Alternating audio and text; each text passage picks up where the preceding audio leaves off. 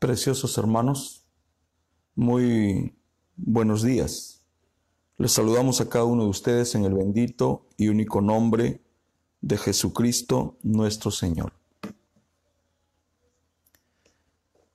Si fueran tan amables, por favor, de acompañarme abriendo sus escrituras en el texto base que estamos usando para este estudio Apocalipsis 17.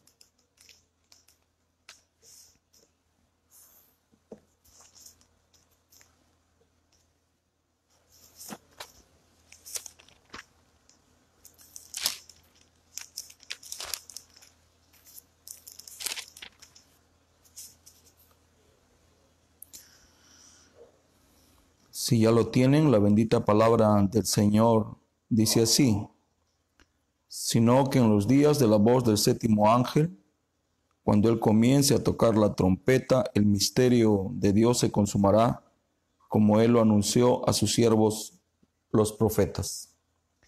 Si fueran tan amables de acompañarme, por favor, eh, cerrando sus vistas e inclinando sus rostros. Bondadoso Padre Celestial, te damos las gracias por el privilegio que nos das de poder una vez más enlazarnos con tus hijos a través de la exposición de tu palabra. Señor, no podemos empezar este espacio sin asegurarnos que tu divina presencia nos honre. Y para eso te ruego, te suplico que aceptes nuestra invitación. Señor Jesús, ven Toma, Señor, la preeminencia, toma el lugar que te corresponde. Sé tú dirigiendo este espacio, sé tú hablando, sé tú en todo. Y si quieres usarme como un instrumento a través del cual te puedas mostrar, yo estaré, Señor, eh, más que agradecido. En el nombre de Jesucristo, tu Hijo amado, así te lo pido. Amén. Preciosos hermanos, una vez más, para mí es un privilegio y un motivo de gozo dirigirme a ustedes a través de este espacio, a través de esta transmisión. Estamos muy contentos por las cosas que el Señor hace y cómo las hace y por darnos la oportunidad de redimir el tiempo o de aprovechar el tiempo. Entiendo que el tiempo no se puede recuperar porque lo pasado queda en el pasado. Pero lo que sí podemos hacer es administrar nuestro día y pensar en cómo administraremos nuestro futuro. Estamos por la gracia del Señor Jesucristo ya algunos días tocando para ustedes eh, Apocalipsis 17. Todos nosotros sabemos lo que este capítulo significa para nuestros días. Apocalipsis 17 para nosotros es un mensajero visitando la tierra eh, al postrer de los tiempos. Sabemos que ese mensajero es un mensajero celestial, pero también hay un mensajero terrenal con quien este ángel se fusiona y a través del cual Él da a conocer el mensaje. Sabemos que este mensajero se llama William Marion Brannan. Dicho esto, eh, quisiera entrar a, a un nuevo estudio y para esto naturalmente precisamos la ayuda divina, porque si Él no está aquí, entonces nosotros ya estamos perdiendo nuestro tiempo y sé que el tiempo vale oro y que nadie tiene derecho a robar de nuestro tiempo ni a hacer que lo malgastemos. Uno de los misterios que el séptimo ángel vino a consumar, aparte de los misterios que hemos visto y otros que restan estudiar, es el misterio de las siete estrellas de Apocalipsis 1.20. Ese será el título de nuestro pequeño estudio, las siete estrellas de Apocalipsis 1.20. Y ahora sí les ruego que vayamos a esa escritura y este será el fundamento sobre el que apoyaremos esta enseñanza.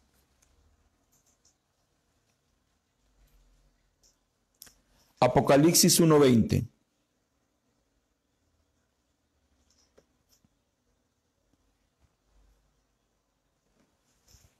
Estamos, como siempre, muy agradecidos al Señor por sus privilegios.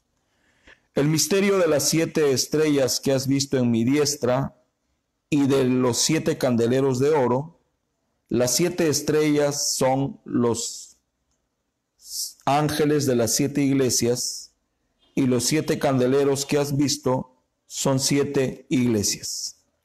Una vez más, el misterio de las siete estrellas que has visto en mi diestra y de los siete candeleros de oro.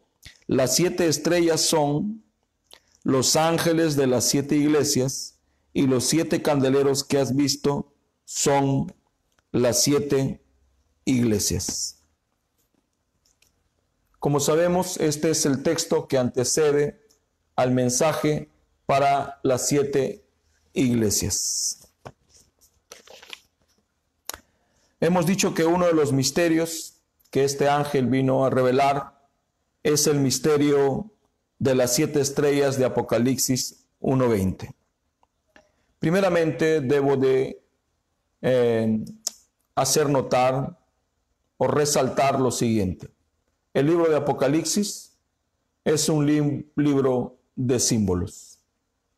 Esa es la razón por la cual ningún hombre pudo hablar acerca de este libro eh, con total libertad, sino simplemente especulando. Entonces el libro de Apocalipsis es un libro de símbolos. Quisiera definir con la ayuda del diccionario el significado de la palabra símbolo. Símbolo es una representación o imagen que transmite un significado. Este libro fue escrito en representaciones o imágenes y éstas transmiten significado. Por eso es que se necesitaba de un divino intérprete de la palabra del Señor para poder hablar, hablarnos, abrir este libro, el libro de Apocalipsis. En otras palabras, si yo quisiera ser más simple, diría que la revelación de Jesucristo se escribió o se dio en símbolos. Sabemos que así como Apocalipsis se escribió en símbolos, también Génesis, el primer libro de la Biblia, se escribió en símbolos. Por eso es que hay mucho problema para entender el Génesis y para entender el Apocalipsis. Estos misterios que fueron escritos a través de símbolos, que estuvieron escondidos a través de, de imágenes, serían revelados en nuestros días, los días del séptimo ángel de Apocalipsis 17. En el desarrollo del ministerio de este ángel, de este mensajero, se develarían todos los misterios escondidos. Ahora, hermanos, vamos a tratar acerca de este misterio. Naturalmente, eh, uno se siente nervioso. Primeramente, por lo que significa pararnos detrás de este púlpito. Y segundo, por lo que ustedes significan. ¿Quiénes son ustedes? Son la sangre de nuestro Señor Jesucristo que se derramó en la cruz del Calvario. Antes de empezar a desarrollar este pequeño estudio, debo decir lo siguiente. Y lo que voy a decir lo diré con mucho respeto con mucha reverencia, pero al mismo tiempo con mucha seguridad.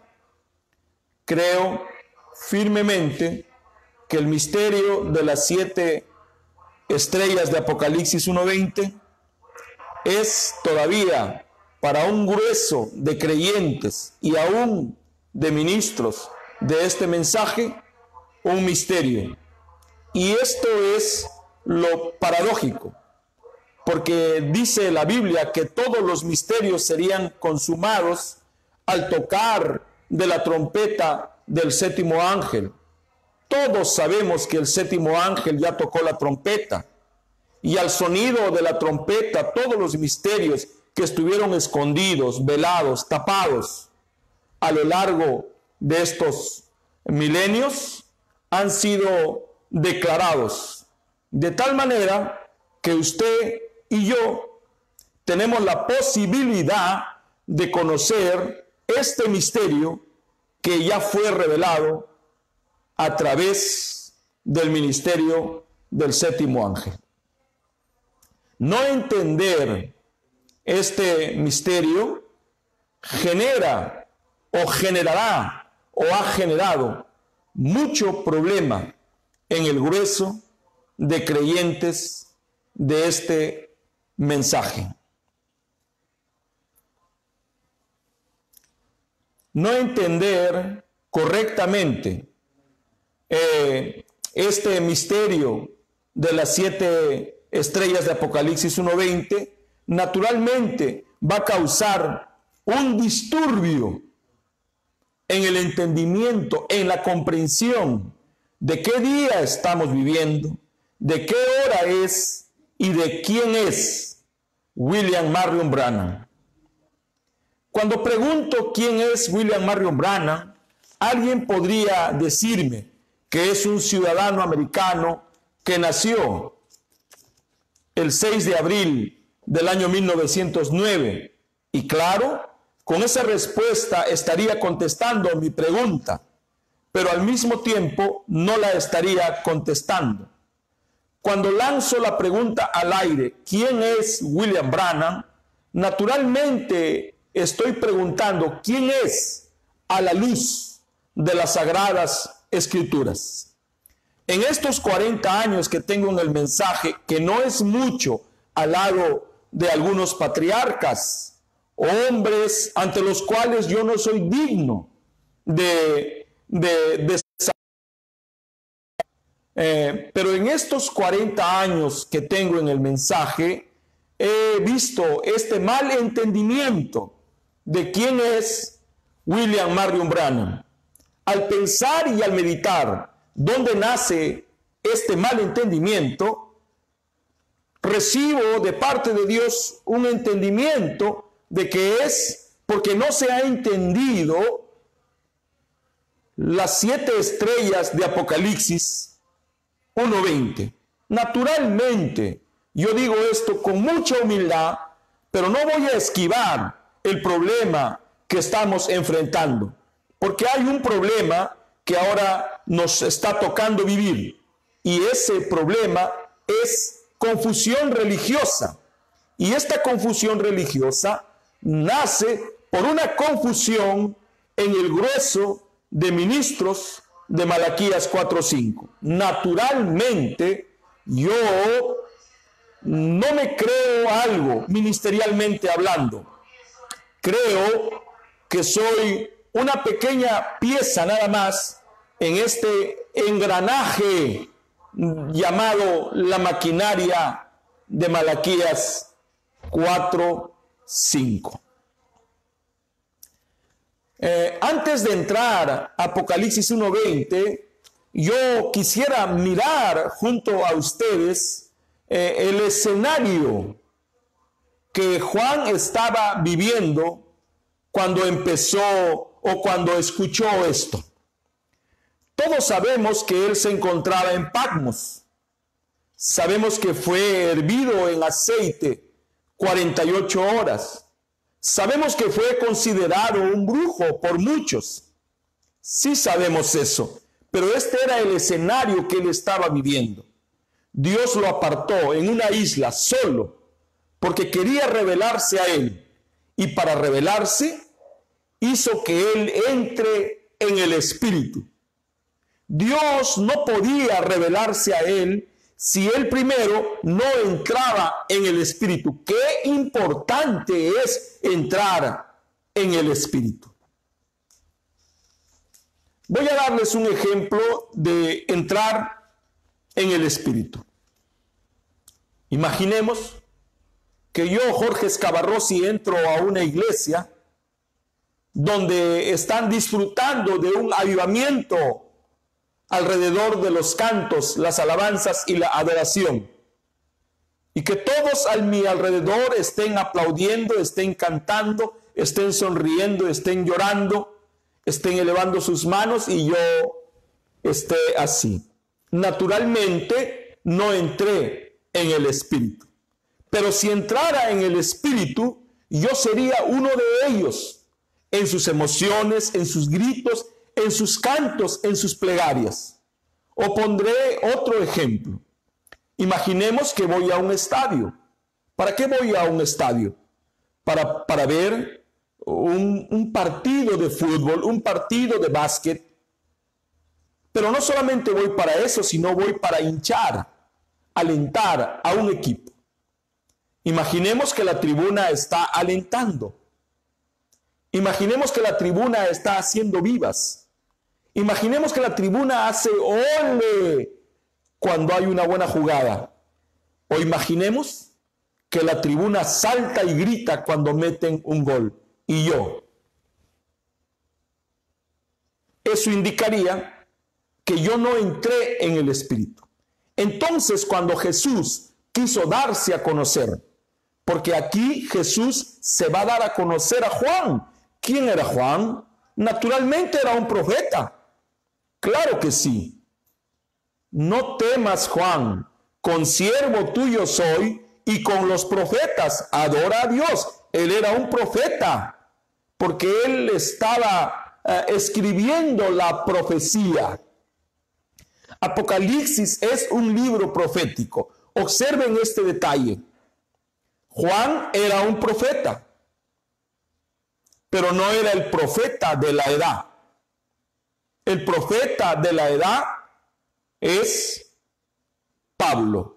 Amén, hermanos. Pero Juan es un profeta. Le tocó escribir el ayer, le tocó escribir su presente y le tocó escribir el futuro.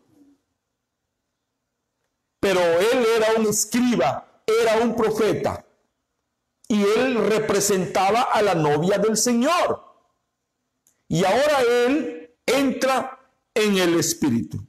Cuando él entra en el Espíritu, entró en el Espíritu del día del Señor y al entrar escucha una voz. Y esta voz era como de trompeta. De repente la voz le dice, la Yo soy el alfa y soy la omega. Y soy el último. Esto para mí es vital. Este misterio de las siete estrellas de Apocalipsis 1.20 está estrechamente, íntimamente ligado al misterio de la suprema deidad. Nosotros jamás podremos entender Apocalipsis 1.20 fuera de la lupa de la suprema deidad. La suprema deidad es una lupa, es un lente de aumento para poder ver lo que no veríamos jamás con ojos naturales. Entonces Él se presenta y le dice, soy el alfa y soy la omega. Sabemos que ese es el calendario griego y ahí está el alfa y el omega. A, Z. O sea, en otras palabras, Él es el calendario. Yo soy el que, el que estuve muerto y he resucitado y ahora estoy vivo. Yo soy desde el principio y yo seré hasta el final. Siempre he sido yo. El gran protagonista de este drama he sido yo. El personaje principal he sido yo. Yo he sido en Adán, yo he sido en Seth, yo he sido en Abel, yo he sido en Noé, yo he sido en Abraham, yo he sido en Moisés, yo he sido en los patriarcas, y yo he sido todo el tiempo. Eso es lo que él le está diciendo. Jesús se está presentando, se está dando a conocer. Quiero que sepas con quién estás hablando. Quiero que sepas de quién es la voz. Yo he sido todo el tiempo. De repente Juan voltea porque él escuchó la voz atrás. Entonces dijo, voy a voltear para ver quién está hablando conmigo. Y dice, y yo volteé para ver la voz que hablaba conmigo y de repente veo siete candeleros o un candelero, como dice el profeta. Esto es lo que él vio. Y en medio, uno como el Hijo del Hombre que se estaba paseando. En medio de los siete candeleros de oro, oro es deidad. Por eso es que les digo, con respeto y con reverencia, jamás podremos entender Apocalipsis 1.20 fuera de la lupa de la suprema deidad. Cuando Juan ve este candelero, escucha la voz y cae como muerto a sus pies. Era mucho. Era una grande luz. Era una grande potencia. La voz era como una trompeta gigante y él cae desplomado a sus pies. Entonces allí nacen algunas preguntas que nosotros debemos de hacernos y buscar la respuesta en la Biblia y en el mensaje. ¿Qué vio Juan? ¿Qué es lo que vio? ¿Qué es lo que él escuchó? ¿Qué fue lo que se le pidió que escriba? Porque él vio, él escuchó y a él se le pidió, escribe. ¿Qué es lo que él vio. Primeramente debo de decir que Juan era un escriba, era un profeta, pero ahora está haciendo el papel de un escriba. Recordemos que cuando Pablo murió, Juan se quedó como pastor de la iglesia. Eso el hermano Branham nos lo enseña en poniéndonos al lado de Jesús. Juan era un escriba, se le pidió que escriba todo lo que ves. ¿Qué vio? Vamos a ver qué es lo que vio Juan. He tratado de desmenuzar lo que él vio y observé que hay seis cosas que vio y una que escuchó. Dice, él vio siete candeleros de oro. Pero sabemos que es un candelero de siete brazos. Y en medio de los candeleros, uno semejante al Hijo del Hombre. Ya va viendo dos cosas.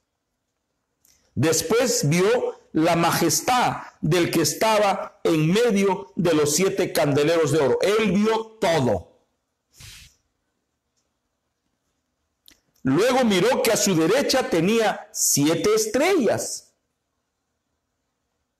Ahora nos estamos acercando a las siete estrellas de Apocalipsis 1.20. También vio que de su boca salía una espada aguda de dos filos. O sea, miren todo lo que le está tocando ver a él. Naturalmente, él no tenía la estructura para ver esto, pero él adquirió esa estructura cuando él entró en el Espíritu. Qué importante es entrar en el Espíritu para poder comprender la revelación de Jesucristo que Dios le dio. Cuando él vio esto, vio que su rostro era como el sol Dice que era como el sol cuando resplandece en toda su fuerza. Y cuando vio esto, cayó como muerto a sus pies. De repente, este colocó su diestra y le dijo, no temas Juan, no tengas miedo, yo soy el primero, yo soy el postrero, yo soy el alfa, yo soy el omega, yo soy el que estuve muerto. Y ahora estoy vivo. ¿Quién estuvo muerto? Jesús. ¿Quién resucitó para estar vivo por siempre? Jesús. Este que se paseaba en medio del candelero es Jesús. Y se está presentando a Juan. ¿Quién era Juan? Tipo de la novia. Se está dando a conocer.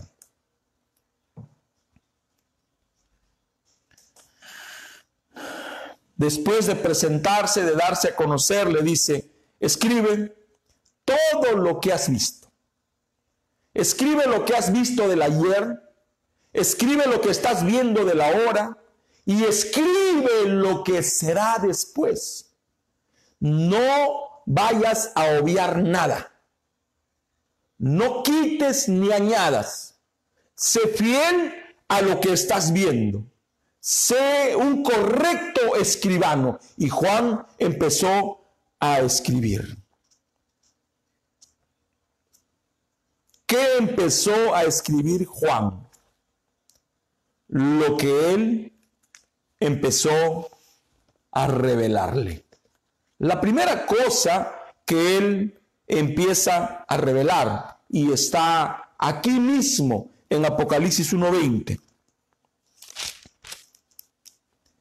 Dice, el misterio de las siete estrellas que has visto en mi diestra. Este es un misterio. Por eso es que el título de esta enseñanza que ahora empezamos es el misterio de las siete estrellas de Apocalipsis 1.20.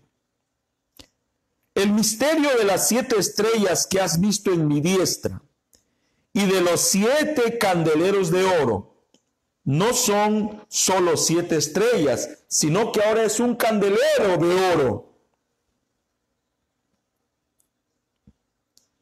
Las siete estrellas son las, los ángeles de las siete iglesias. Y los siete candeleros que has visto son las siete iglesias. Muy bien. Entonces aquí Jesús mismo empieza a develar el misterio. Empieza a enseñarle a Juan el significado de estos símbolos. Porque una trompeta es un símbolo, una copa es un símbolo, una estrella es un símbolo, el candelabro es un símbolo. Todo fue escrito en símbolos para que teniendo ojos no vean y teniendo oídos no oigan. Pero Amós 3.7 nos dice que Él no hará nada aquí en la tierra sin revelar primero sus secretos a sus siervos los profetas. Por eso es que nosotros jamás, jamás debemos imaginar el drama de la Biblia sin profetas en la tierra, porque un profeta es un divino intérprete de la palabra del Señor. Y aunque el mundo religioso y secular rechaza la posibilidad de que Dios todavía se revele a través de sus profetas, nosotros sabemos que Dios no cambia. La Biblia nos dice en Malaquías capítulo 3, yo Jehová no mudo no cambio. Lo que fue bueno para Adán es bueno para nuestros días. Lo que fue bueno a lo largo de las edades es bueno para nosotros. La misma manera que Dios usó, el mismo método, el mismo, la misma forma es la misma que Él usa hoy para nosotros. Dios nunca mejora sus planes. Si Él mejorara sus planes, entonces ya tendría una grande falla. Estaríamos hablando de un Dios cambiante. ¿Qué sería de nosotros con un Dios cambiante? Con un Dios que pueda hoy decir una cosa y mañana otra.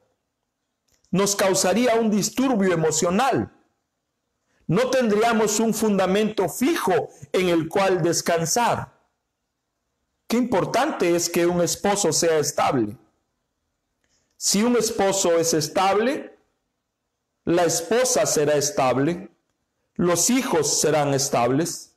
Un esposo cambiante causa un disturbio emocional en la esposa, en los hijos, en la familia. Qué importante es tener en consideración lo que el apóstol Pablo enseñó. Tu hablar sea sí, sí o no, no. Yo creo en los cambios. Claro que sí. Creo en cambiar. Cambiar cuando hablo de crecimiento. Yo no soy el mismo que parió mi madre. Cuando mi, mi madre me parió, yo era un bebé de casi cuatro kilos. Ha habido muchos cambios pero no he cambiado en mi esencia. Soy el mismo. No soy otro Jorge. Soy el mismo Jorge que vino al mundo hace 51 años. Pero ha habido cambios en mi fisonomía y en mi psicología. Claro que sí. Esos cambios son de madurez. Como cuando se siembra el trigo en la tierra. Cuando el trigo cae a tierra, se pudre, empudrece. A los días el trigo brota, pero no brota como trigo, brota como dos simples hojitas.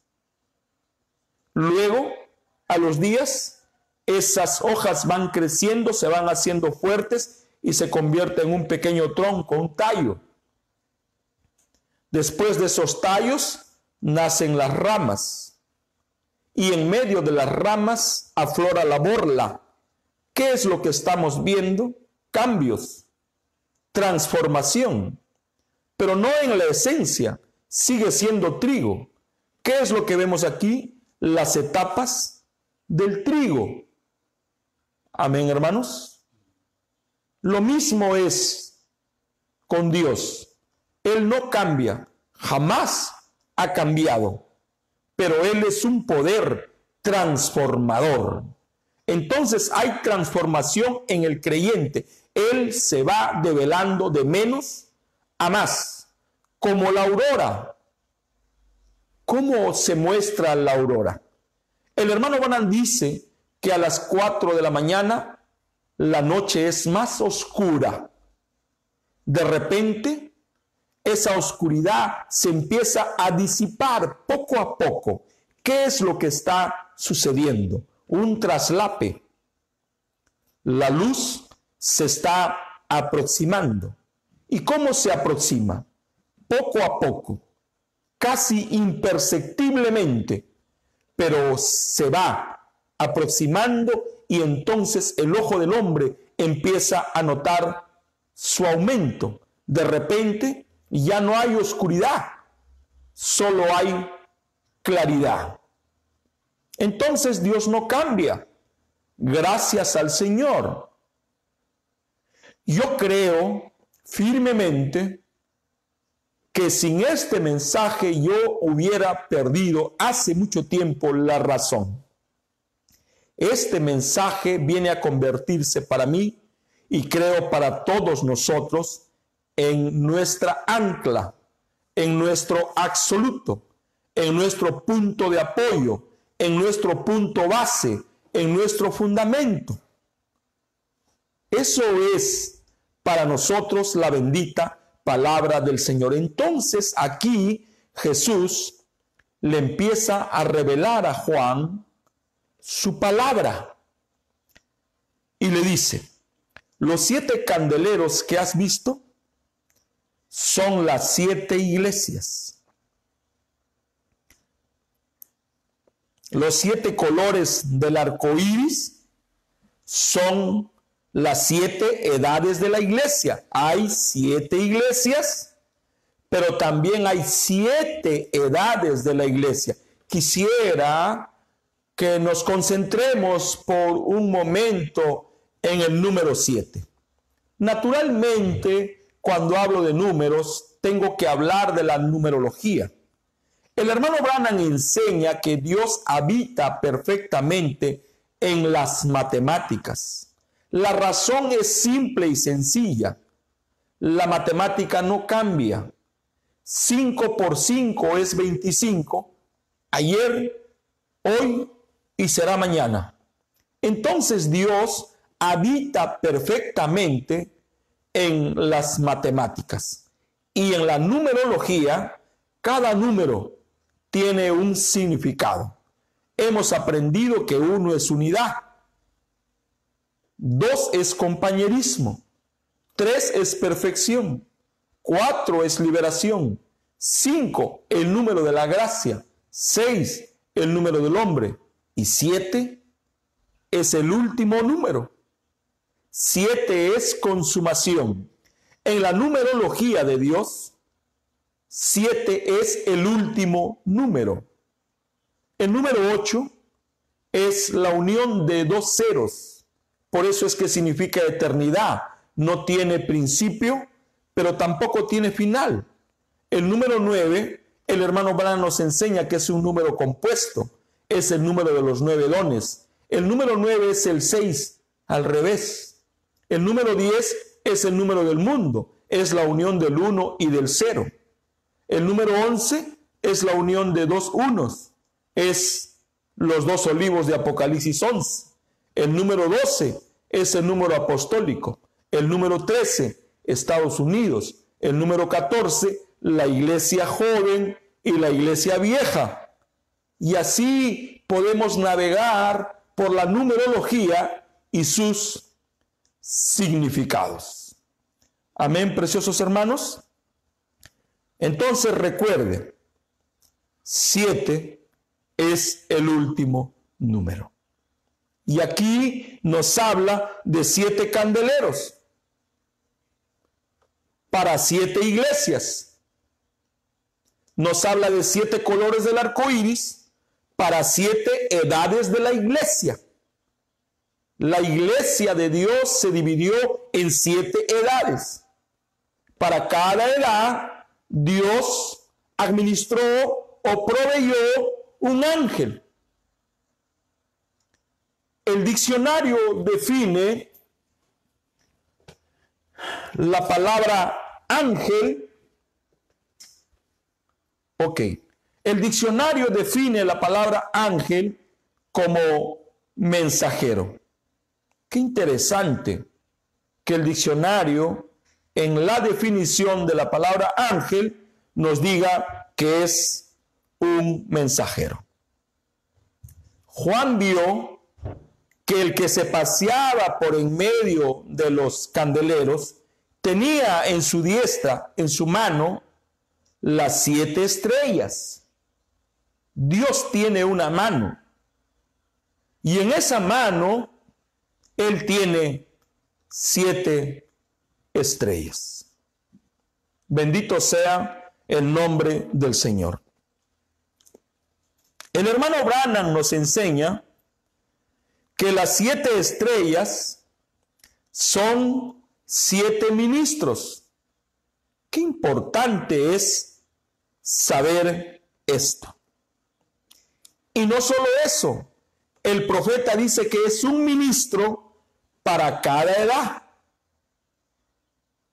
Estas siete estrellas son siete ministros. La palabra ministro viene de la palabra ministrar. La palabra ministrar significa servir.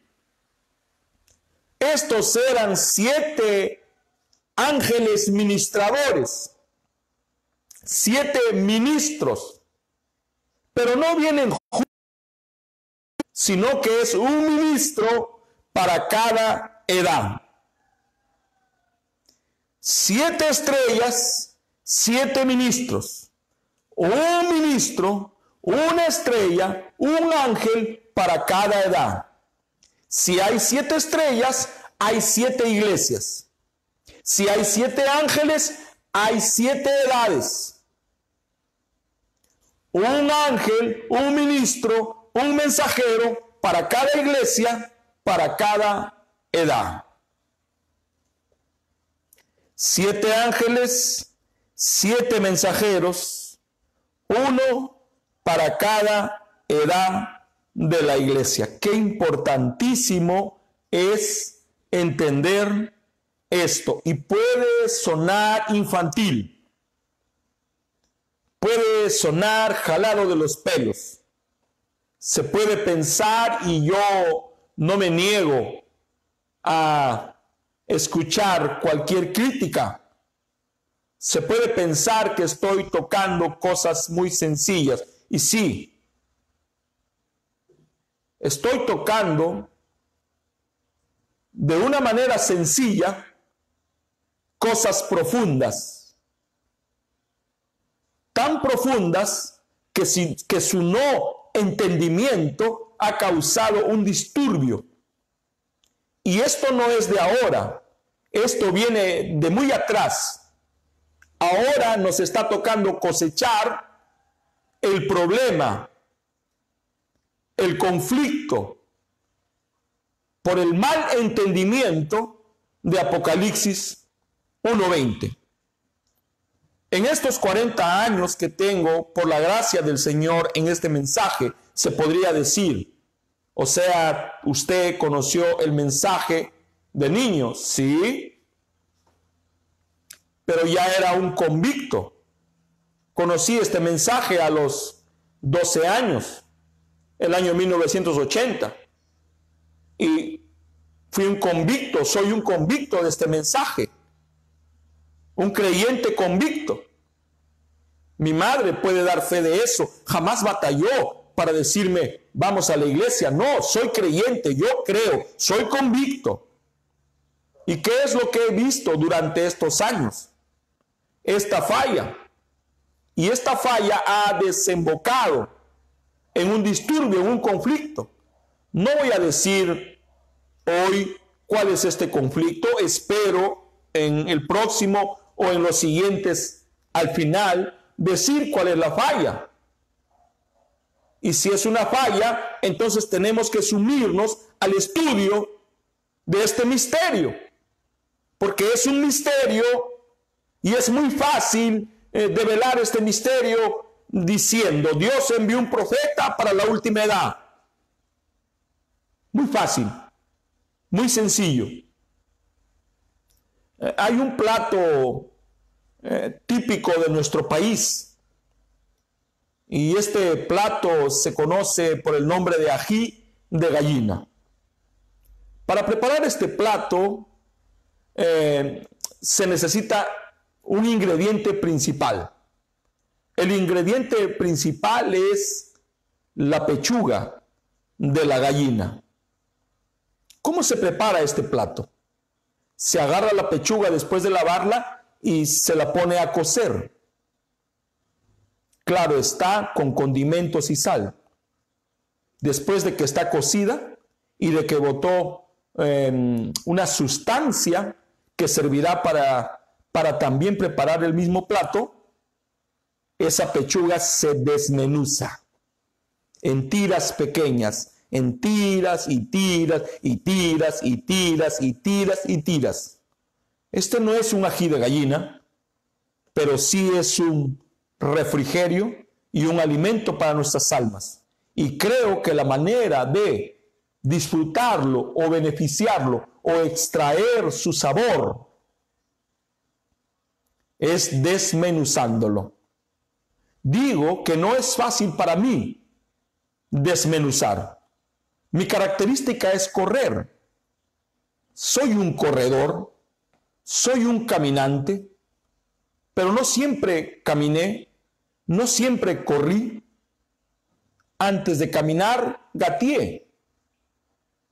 Antes de correr, caminé.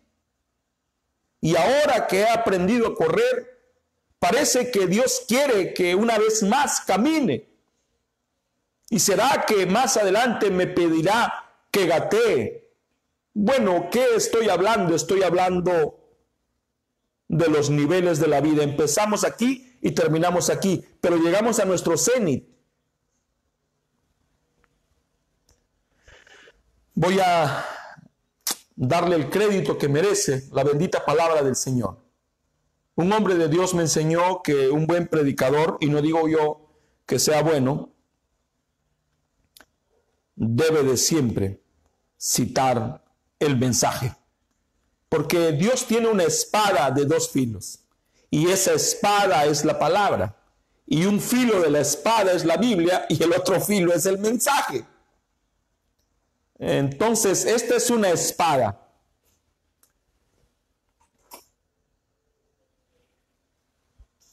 Una pequeña espada de dos filos, la Biblia y el mensaje.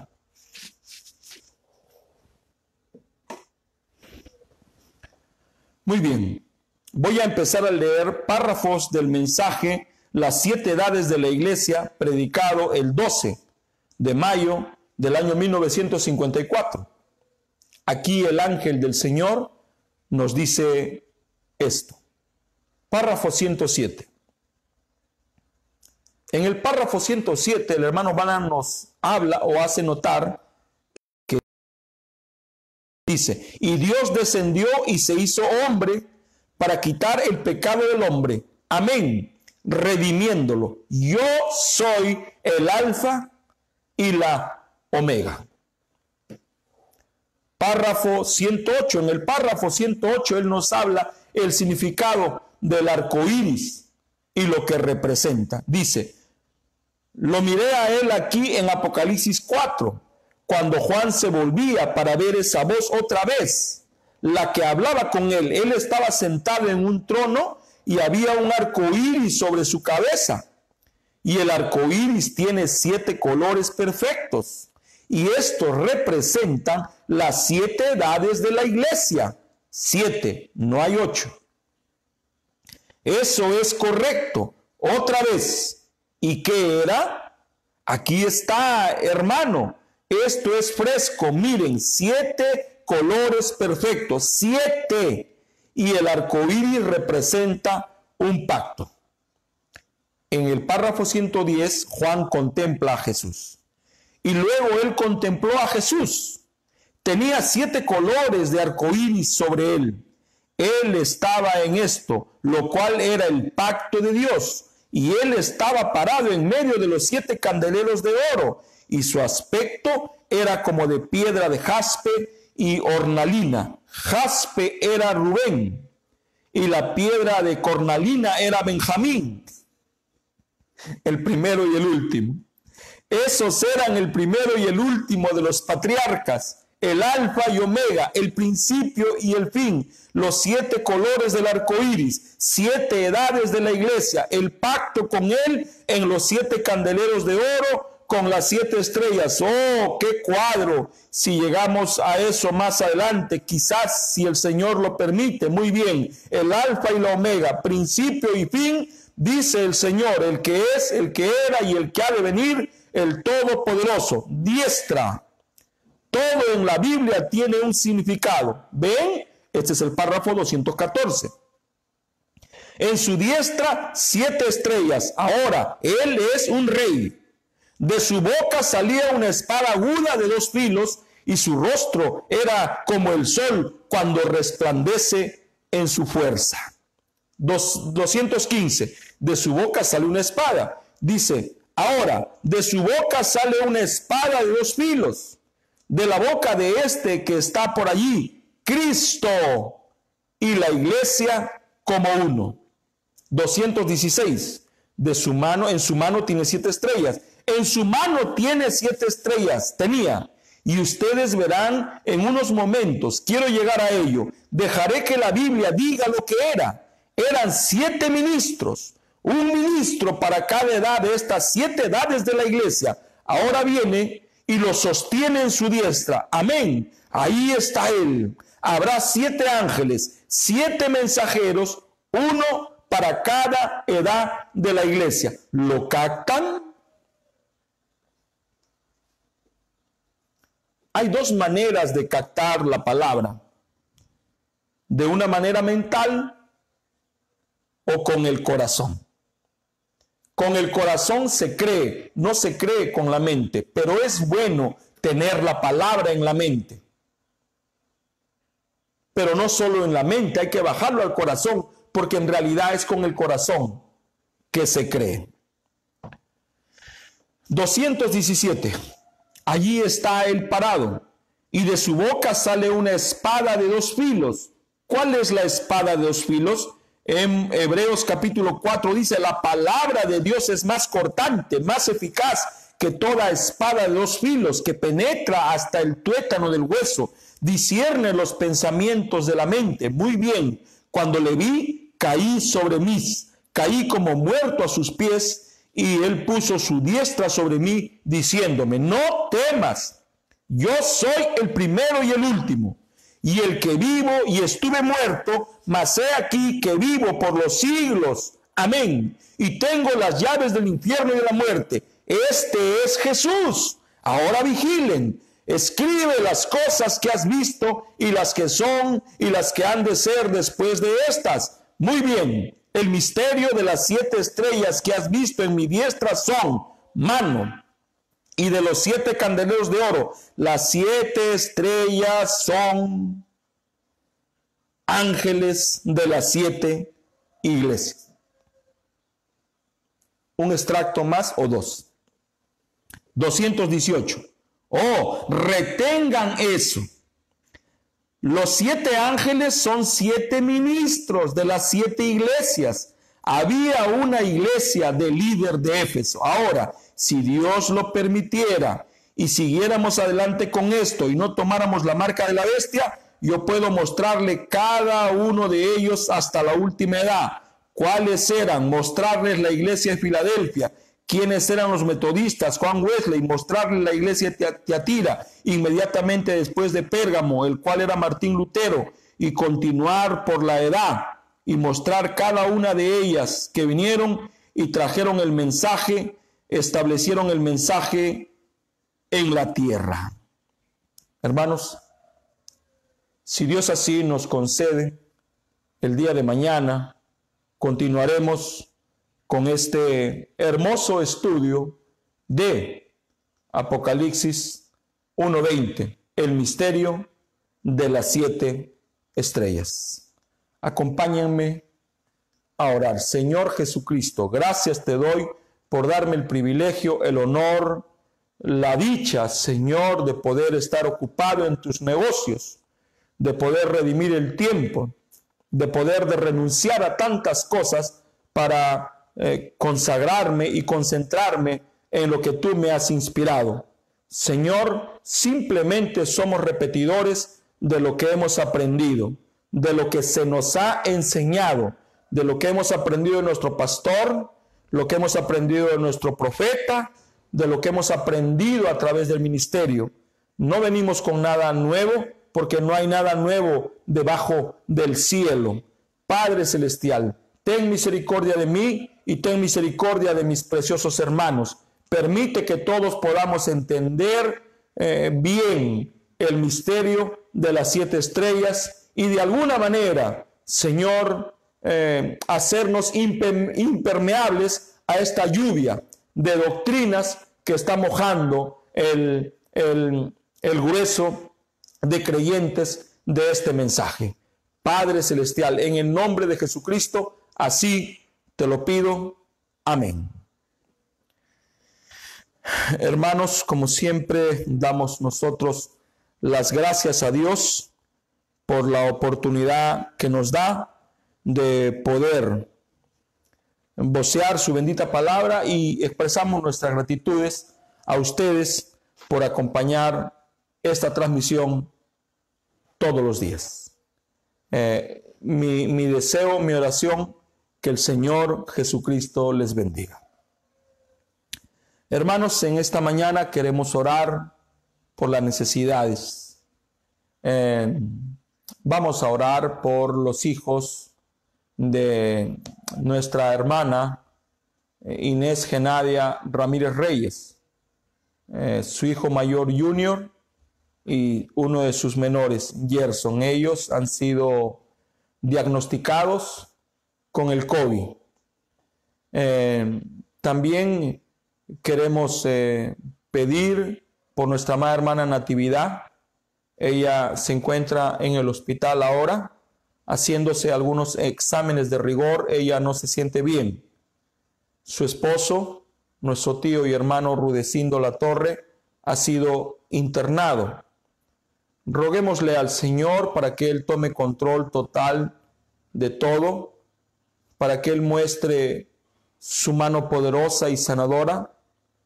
Mi deseo y mi oración es que el Señor Jesús extienda su misericordia sobre ellos Sigamos pidiendo por nuestro amado hermano Eliezer, Moisés, eh, Eusebio Ramírez. Sigamos pidiendo por Inés Genadia Ramírez Reyes.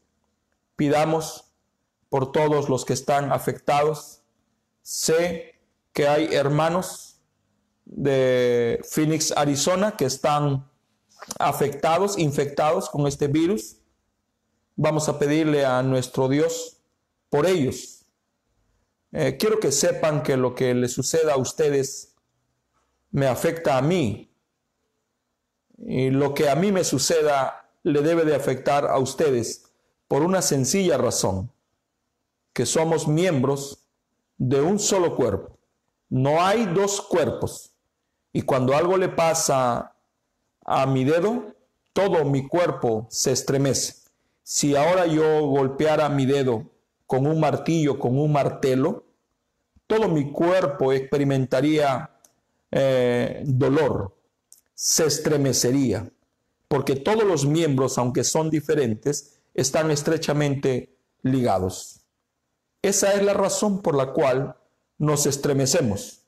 Esa es la razón por la cual experimentamos tristeza, dolor, cuando alguien sufre, cuando alguien llora. Y ahora que el mundo está siendo golpeado, abofeteado, por este virus, por esta bacteria, por esta enfermedad, muchos de nuestros hermanos van a eh, enfermar. ¿Qué vamos a hacer? ¿Qué vamos a hacer con nuestra aflicción, con nuestro dolor? Vamos a hacer lo que hemos aprendido. Vamos a orar. Vamos a orar por nuestro amado hermano Carlos Jesús Castro Yaza, para que el Señor le quite la ansiedad y le dé tranquilidad en su mente y en su corazón. Vamos a orar por los que necesitan, por los que están llorando, por los que tienen enfermos, por los que están batallando para llevar pan a la mesa, por los que no tienen trabajo. Vamos a orar por los que tienen estrés, por los que tienen ansiedad, pánico, depresión, paranoia. Vamos a orar por nuestro prójimo.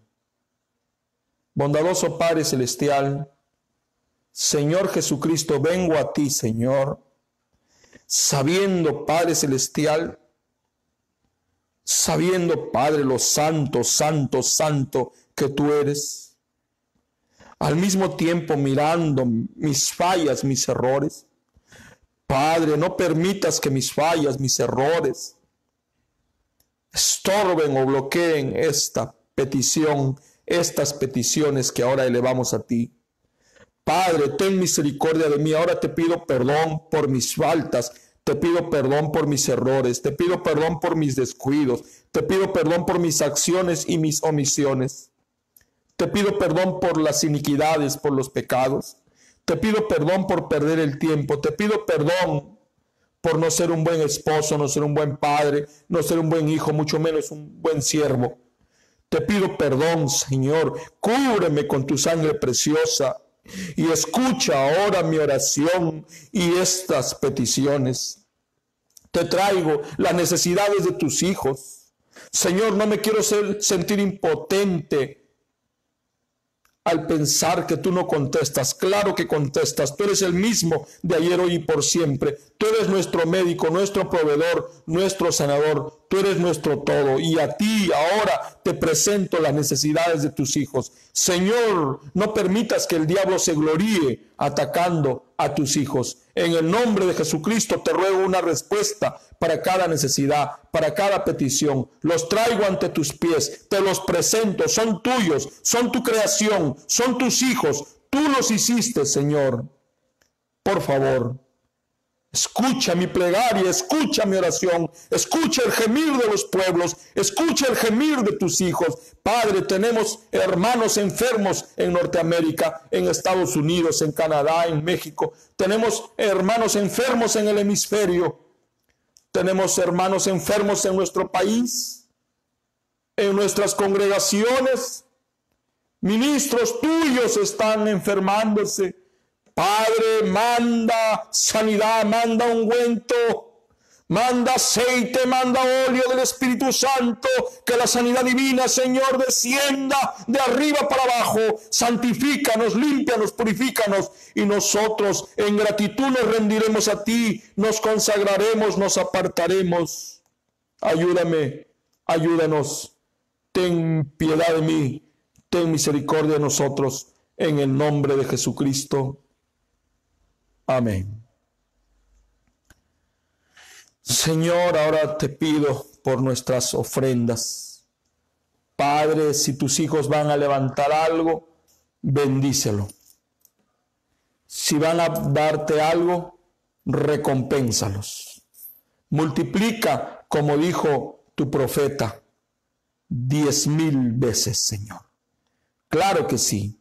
Tú eres el todo poderoso. Señor, tú eres el Todopoderoso. Señor, bendice al dador alegre, al que tiene y al que no tiene, en el nombre de Jesucristo. Amén. Hermanos preciosos, queremos agradecerle a cada uno de ustedes por haber acompañado esta transmisión. Y quiero agradecerles a todos los que se toman de su tiempo para orar por este indigno siervo de ustedes. Ayúdenme con sus oraciones, socórranme. Aunque sea 10 segundos, pídanle a Dios por mí, que me ayude, que me fortalezca, que me purifique, que no permita jamás que se levante el yo personal, sino que solamente busque el empoderamiento de Jesucristo, el empoderamiento del reino de los cielos. Hermanos, si Dios así nos concede, nos estaremos encontrando con el favor de Dios el día de mañana a las 10 a.m. Por la noche nos estará compartiendo la palabra del Señor una vez más nuestro joven ministro Joseph Kenyu Cabanillas Chacón. Les agradezco por acompañar a este joven. Gracias preciosos hermanos. Una vez más hacemos extensiva la invitación a la cruzada evangelística, sanidad divina, liberación y milagros. Esta cruzada se va a estar eh, desarrollando a partir del día viernes 26 de junio a las 7 de la noche y continuará el sábado a las 10 de la mañana, sábado 27, sábado 27 a las 7 pm, domingo 28 a las 10 y domingo 28 a las 5 pm. Esta cruzada, estos servicios evangelísticos han sido preparados para ustedes con mucho cariño. Han sido hechos pensando en en cada uno de los hijos del Señor en el orbe, en esta tierra. Hermanos, acompáñennos, por favor, en esta transmisión que será a través de las redes sociales. Todo va a ser a través de YouTube, todo va a ser a través de Facebook. Los canales a través de los cuales se estarán transmitiendo es YouTube, Facebook de la Sangre de Cristo y el Facebook personal de mi persona. Hermanos, que Dios, nuestro Padre Celestial, les bendiga y como dijo Jesús, eh, mi paz os dejo, mi paz os doy. Dios, nuestro Padre Celestial, les bendiga. Shalom.